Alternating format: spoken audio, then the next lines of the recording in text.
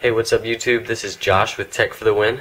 I'm going to be starting a Cydia Tweak of the Week, so stay tuned each week to see the new tweak we post. So today's tweak is called Barrel. It is a animation app, animation tweak for your icons when you turn the page like this. That's cubed. I'll show you a little bit more on that later, but here I'm going to show you how to get it. Go into Cydia, then you want to go to go to search.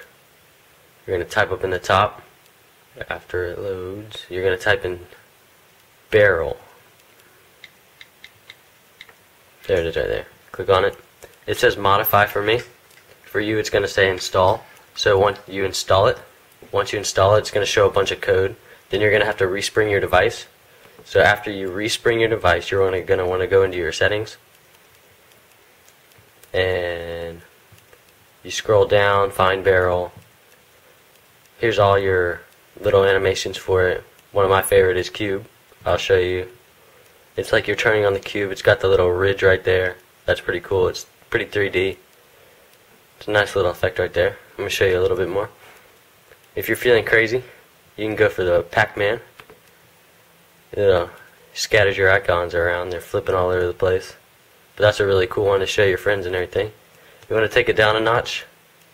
You can go into page fade. Just a little simple fades the page right there. It's pretty neat.